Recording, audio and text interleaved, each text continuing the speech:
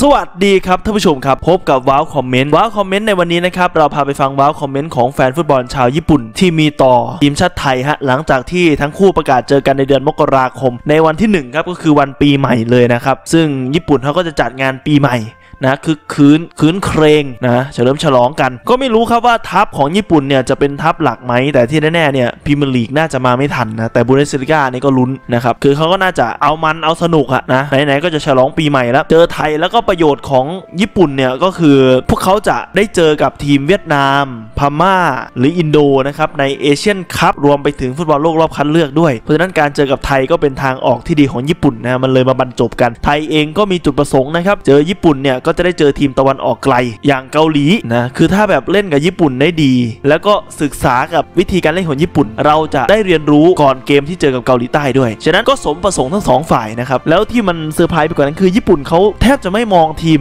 เอเชีย หรืออาเซียนในการอุ่นเครื่องเลยนะเออคือเลือกอุ่นแบบยุโรปเนี่ยแล้วแบบเจอพวกยุโรปเจอพวกทวีปอื่นๆญี่ปุ่นถล่มมาหมดเลยแม้กระทั่งเยอรมันยังถูกญี่ปุ่นถล่ม4-1คิดเอาคือเขาไม่ไม่ชายตากลับมามองเอเชียแล้วอะเพราะอุนแบบระดับสูงขึ้นไปอีก เพื่อฝันสู่แชมป์บอลโลกนะครับแต่เขากลับยอมที่จะอุ่นกับไทย เชิญไทยไปที่โตเกียวครั้งนี้ก็เป็นอะไรที่แบบโอ้โหโคตรเซอร์ไพรส์เลย เดี๋ยวไปฟังคอมเมนต์ดีกว่าว่าญี่ปุ่น จะรู้สึกกับเรายังไงนะครับเพราะว่าปกติแล้วทีมใหญ่ถ้าเจอทีมเล็กเนี่ยเขาจะไม่ชอบกันนะอย่างเกาหลีนี่ก็ประมาณว่าไร้สาระการเจอกับเวียดนามอะคือไม่ได้ประโยชน์อะไรเลยนะเออแฟนเขาด่า มาดูว่าญี่ปุ่นจะเป็นยังไงฮะอันนี้เอาตามเพจหลักของญี่ปุ่นนะยึดโยงเป็นหลัก เม้นแรกบอกว่าโอ้วันปีใหม่ สนุกในการต่อสู้ เม้นต่อมาบอกว่า คุณจะได้รับมือกับเช็คด้วย ฉันก็ต้องการสนับสนุนไทยด้วย เม้นต่อมาบอกว่า ฉันคิดว่ามันน่าจะมาจากเอเชียสำหรับทีมที่เราจะเจอ และก็มาจากประเทศไทยเนื่องจากเป็นการแข่งขันก่อนเอเชียนคัพคงจะดีมาก ถ้าทีมชาติไทยเล่นได้อย่างดุดัน และเล่นได้ดีแทนที่จะเล่นตั้งรับ เม้นต่อมาบอกว่า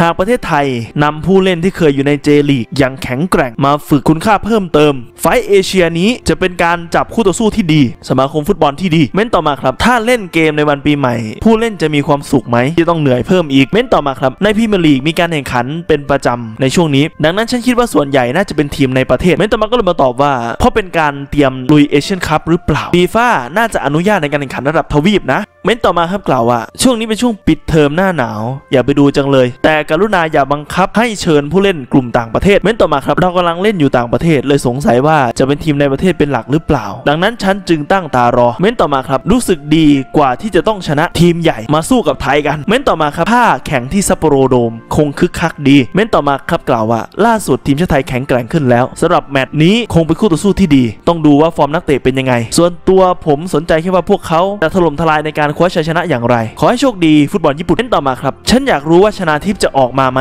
เม้นต่อมาครับ เลือกเจอประเทศไทย เพื่อที่จะไม่ให้ได้รับอาการบาดเจ็บอันนี้หมายถึงอะไรอะเออเจอทีมอื่นจะบาดเจ็บเหรอเม้นต่อมากล่าวว่าเป็นช่วง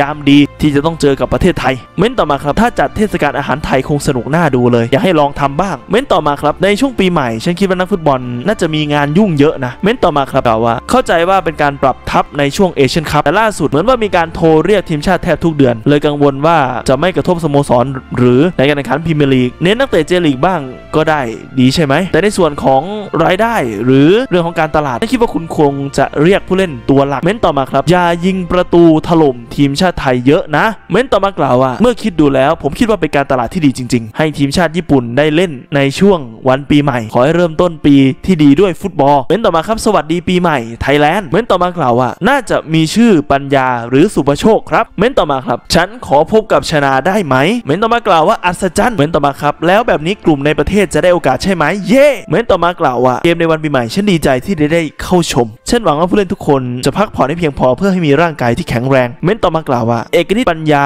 จะได้รับการปล่อยตัวหรือไม่เม้นต่อมาครับกลุ่มในยุโรปน่าจะยังยุ่งอยู่ แต่ทีมในประเทศก็น่าจะแข็งแกร่งเม้นต่อมาครับกล่าวว่า เนื่องจากประเทศไทยเป็นทีมที่อันดับต่ำกว่า พวกเขามีแนวโน้มที่จะเล่นเกมรับอย่างดุเดือดดังนั้นจึงจะไม่ค่อยมีโอกาสได้เล่นกับคู่ต่อสู้แบบนี้ดังนั้นพวกเขาจะเป็นคู่ต่อสู้ที่ดี ผมไม่มั่นใจนะว่าไทยจะเล่นเกมรับอย่างที่พวกเขาคาดหรือเปล่านะเพราะมาโน่คงคงไม่ปลื้มในเกมรับ เม้นต่อมากล่าวว่าไทยแลนด์ดีน่าจะมีนักเตะดีๆบ้าง เม้นต่อมากล่าวว่าชนะนี่ฮะสั้นๆครับเม้นต่อมาครับกล่าวว่าถึงงเวลาที่ต้องรอเม้นต่อมาครับสุดยอดจริงๆ ผมหวังว่าพวกเขาจะชนะถ้าเจอไทยในครั้งต่อไปเม้นต่อมาครับโดยพื้นฐานแล้วพวกเขาเป็นผู้เล่นเจลีกใช่หรือไม่เม้นต่อมากล่าวว่าฉันดีใจที่ได้ชมการแข่งขันในช่วงวันปีใหม่เม้นต่อมาครับฉันรู้สึกเสียใจเล็กน้อยสำหรับผู้เล่นฉันคิดว่าพวกเขาคงอยากใช้ชีวิตในการพักผ่อนช่วงปีใหม่เม้นต่อมากล่าวว่า ฉันไม่สามารถไปดูที่สถานที่ได้ดังนั้นโปรดออกอากาศทางทีวี ฉันอยากเห็นนักเตะของชลบุรี FC เม้นต่อมากล่าวว่า มันอาจจะกลายเป็นประเพณีของวันปีใหม่ แทนถ้วยจักรพรรดิเม้นต่อมาว่าผมว่าเราราไม่จำเป็นต้องเรียกนักเตะต่างประเทศหรอกถ้าเราเน้นทีมในประเทศเราอาจเจอนักเตะดีๆ ก็ได้ในการสู้กับไทยเม้นต่อมาครับกล่าวว่า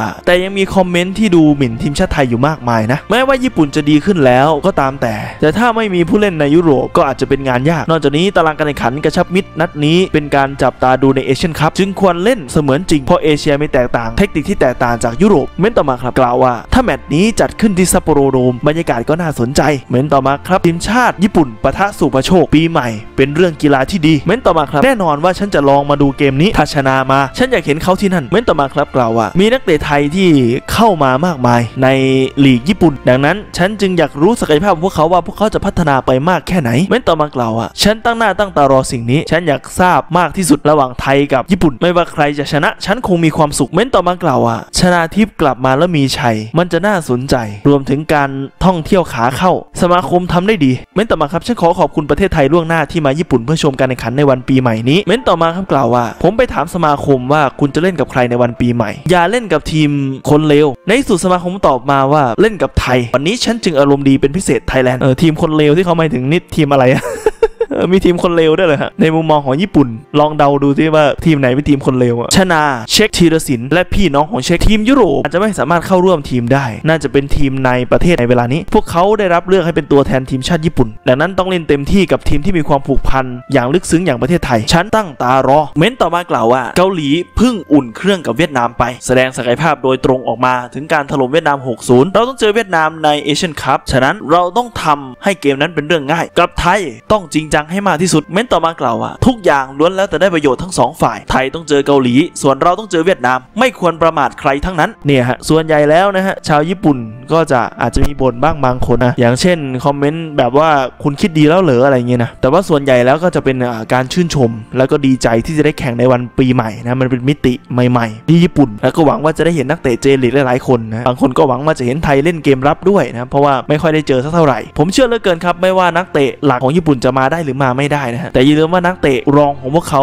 คว้าแชมป์เอเชียตะวันออกไกลเหนือจีนกับเกาหลีนะเออนั้นพวกนี้ไม่ยอมนะ พวกนี้อยากที่จะติดทีมญี่ปุ่นในช่วงนี้คือทีมญี่ปุ่นเนี่ยใครก็อยากเข้าร่วมทีมชาติ คือถ้าคุณผลงานดีเนี่ยโมริสึดึงเข้าแน่นอนเพราะโค้ชก็คือโมริสึนะฉะนั้นเกมนี้ไม่ว่าจะเป็นไงมันแน่นอนนะครับอยู่ที่ว่าเราจะให้ความสำคัญแค่ไหนนะส่วนคนที่ถามว่าความสำคัญกับจีนและอันนั่นแหละอันนั้นเราให้ความสำคัญอยู่แล้วเราต้องเจอกับจีน และสิงคโปร์ก่อนนะก่อนที่เราจะเจอญี่ปุ่นนะฉะนั้นสองแมตช์นั้นอะก่อนหน้านั้นเราจะทุ่มเต็มที่นะครับับเดี๋ยวดูกันว่านักเตะของเราจะพร้อมไปไหมเพราะไทยลีกเตะวันที่ 29 แล้ววันที่ 1 เราแข่งกับญี่ปุ่น ผมว่าเรื่องนี้มันจะมีปัญหาอีกคอยดูท่าทีของสมาคมแล้วก็ไทยลีกแล้วกันนะวันนี้ลาท่านผู้ชมไปก่อนแต่เพียงเท่านี้เจอกันใหม่คลิปหน้าสวัสดีนะจันหายจ๋า